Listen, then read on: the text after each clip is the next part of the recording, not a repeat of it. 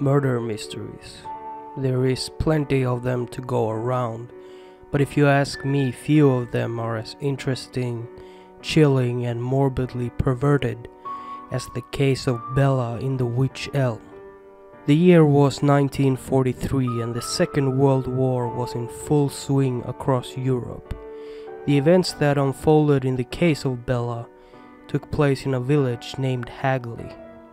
It's located in the West Midlands of England. While most of the larger cities suffered bomb raids, the country was considered a safer place for people. In Hagley there was a forest not so shockingly named Hagley Wood. A very ominous forest if I say so myself. And the fact that in one of the old wych elm trees a body had been pushed doesn't exactly change my view on the place. So, it began on April 18, 1943. Four boys were out poaching in Hagley Wood. They weren't really allowed to poach there, but they had a very keen interest in hunting birds' nests. One of the boys, a 15 year old lad named Bob Farmer, was climbing up a tree. He took a peek inside and saw a skull. He wasn't afraid because he hadn't realized it was a human skull yet so he poked and prodded at it with a stick and managed to scoot it closer to him so that he could see what it was. Now he was afraid. He and the other boys could now see that it was a human skull. A piece of rotted flesh and a chunk of hair was still sticking to its cranium. However, the boys made each other a promise not to say anything about their discovery, because as I mentioned earlier, what they were doing was illegal, so they went home with the image of the skull surely fucking with their heads. The youngest boy in the group, Thomas Willetts, couldn't get the horrifying discovery out of his head, and with a feeling of swelling dread, he told his parents what had occurred that day when the boys had gone poaching in Hagley Wood. The police were contacted and they went to the scene. However, back in those days, light was scarce just as most things, since they were in the middle of a brutal war, so the police couldn't use flashlights to look at the crime scene in the middle of the night. Instead, they dispatched a couple of officers to guard the location, and they returned to the Wych Elm that morning. It was a grim sight, and they noted that not only had her head been stuffed into the tree, but the rest of her, except for one of her hands, had also been stuffed in there. How do you get a skeleton out of a tree? Well, apparently you cut it down. So they cut it down and started investigating the remains. None of the bones appeared to have been broken, although the body was thought to have been inside the tree for about two years, so the skeleton wasn't exactly well put together anymore, if you know what I'm saying. As I've been referring to the body as a she, I think you can guess that the medical examiner did find that it was in fact a female corpse. What boggled their mind somewhat, though, was her cause of death. But rest assured, I wouldn't have made this video if the death was natural. What they did find was a piece of cloth that had been stuffed inside her mouth, and the hypothesis was that the piece of taffeta cloth had suffocated her to death. The body had then been jammed down the tree before rigor mortis had set in because it wouldn't have been possible if the body was stale. Then they found her hand. There is two versions of the hand I managed to find. One says her hand was found in close proximity to the tree, and one said it had been buried in close proximity to the tree. The cop also managed to find an identification card belonging to a female, and they probably thought to themselves that they had identified the body. But the woman to whom the card belonged to was alive and well, and she had no idea how it got there in the first place. So let's just summarize this quickly here. There's a skeleton inside a tree trunk, it's a female who has been dead for about two years and a cloth had been shoved into her throat suffocating her, and her hand had been cut off. Another discrepancy is whether the body was naked or clothed at that time of death, Whichever scenario is true, they did find remains of a dress that belonged to the victim. They also noted her lower jaw had been operated on by a dentist not too long before her death, as well as having a tooth pulled out. A couple more details was that her height was estimated to be about 5 feet tall and her hair was mousy colored. They estimated her to have been 35 years old at time of death. And the cheap wedding ring was found on one of her fingers. Who was she? And why is she called Bella? Well, I can't tell you who she was, but there are other stuff. It's coming next.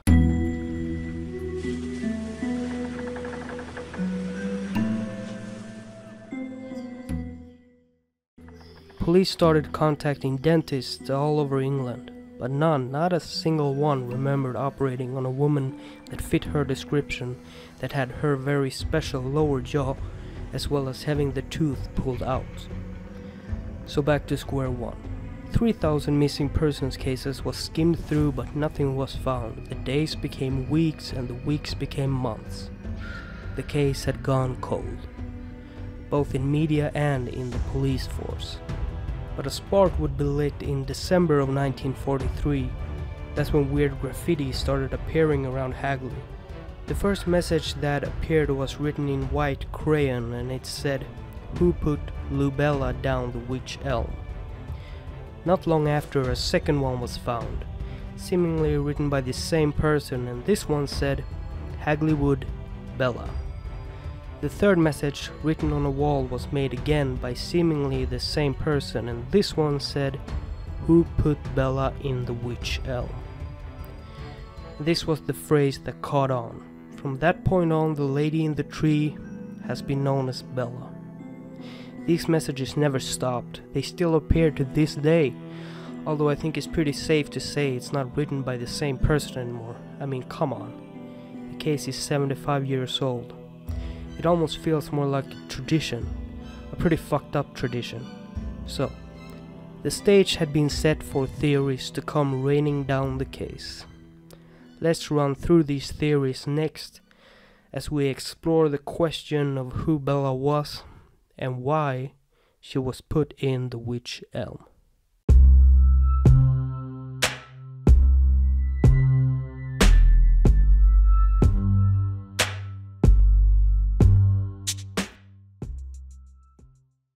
Where do we begin?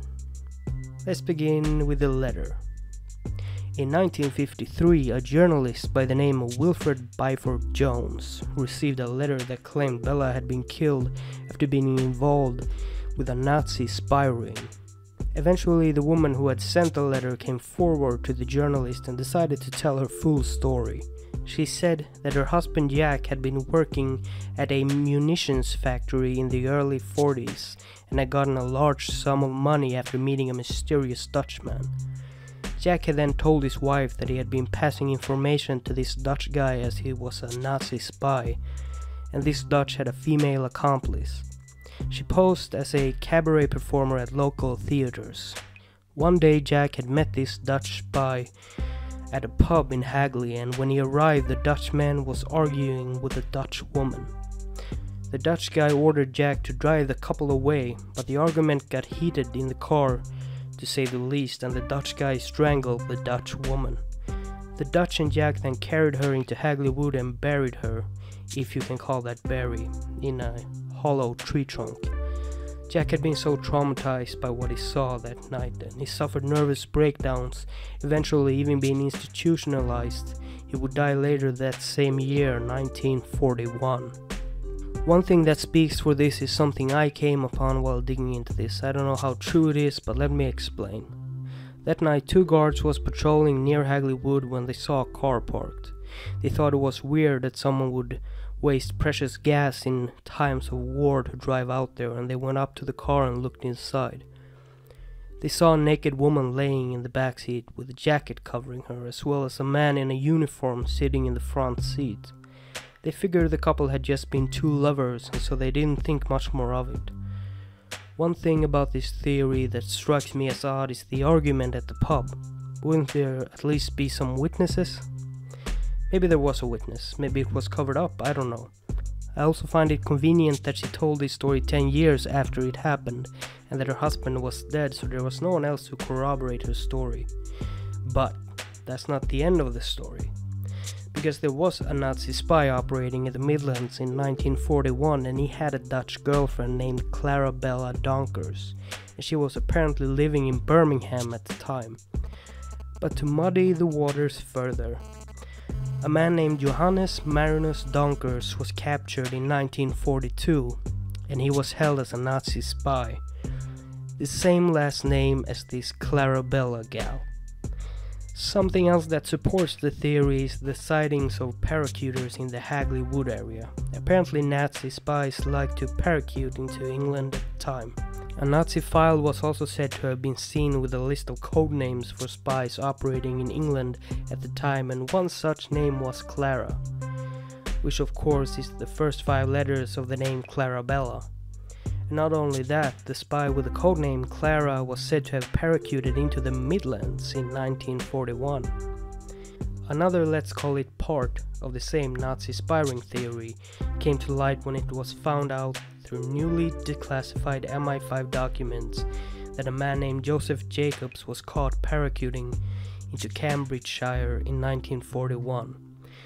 Joseph Jacobs was eventually executed by firing squad in the Tower of London, but on his person they found a photo of a German cabaret singer named Bella Bauerle. She had been in Birmingham for years and would have gotten a good hang of the British accent. A perfect spy, in other words. Joseph Jacobs claimed during his interrogation that she was supposed to parachute in after him, but that since he was caught, she probably wouldn't. The funny thing is, Bella was never seen or heard from after 1941. The cabaret singer, Bella. The other Bella is dead, which isn't as shocking if she was a spy, but still. So, what the fuck am I supposed to make of all this? Is Clarabella and Bella Bauerle the same person? You know, I went into making this video with a dismissing attitude towards the whole Nazi spy ring theory, but I gotta say the sauce is in the pudding, you know? Although I gotta say not much physical evidence has surfaced, despite all the declassified war records and no one else in the supposed spy ring has ever been identified. Plus, she was buried pretty deep in a forest that only the locals would have been familiar in. But maybe, just maybe, the corpse in the tree had a love for swastikas and tiny square patches of facial hair. Anyway, there's one last theory I want to discuss. The theory is that Bella was a gypsy and that she was murdered in an occult ritual. That's why her hand had been removed, because in witchcraft you chop the hand off your victim and then you own their soul or something. At least that's how I think it went. I'm not really as up to speed on my gypsy witch lore. Holy shit, that theory didn't last long. Well, I don't know what else to say. I'm kidding, I know exactly what to say, because I have left out a detail in the story. That detail is that Bella's remains and autopsy reports just seems to have vanished. When police were planning to have a look at her remains and reports, they discovered that what they were looking for just wasn't there anymore, which obviously is a very suspicious thing. Maybe the MI5 took her remains and reports, but wouldn't they have popped up when they declassified all their stuff?